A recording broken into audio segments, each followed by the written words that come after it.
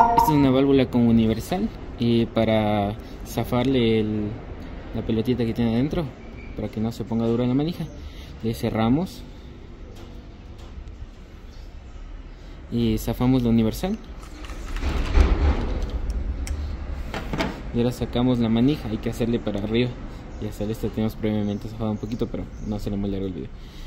Ahora con estos dientecitos que están aquí ingresamos en esta parte. Estos hay que zafarles así. Vamos girando vamos girando hasta zafarle de esta manera podemos zafar por completo toda la, la válvula. Queda así sale. Esta pelotita es la que suele ponerse dura cuando está muy apretada. Entonces lo vamos dejando al pulso nada más. Ahí y vemos que esto tenga apertura y cierre correcto. Y volvemos a poner la